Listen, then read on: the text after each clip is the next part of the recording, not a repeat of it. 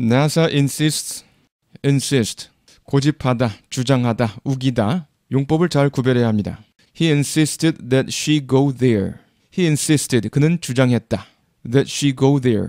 그녀가 그곳에 가야 한다고. 이때는 that she should go there에서 should가 생략. 그래서 뭐뭐 해야 한다고 주장하다의 의미일 때 대절에서 should가 오거나 should가 생략되고 동사 원형이 온다는 거예요. He insisted that she go there.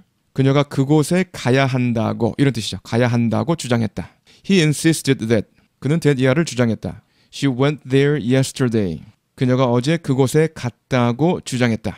가야 한다고란 뜻이 아니죠. 갔다고 주장했다.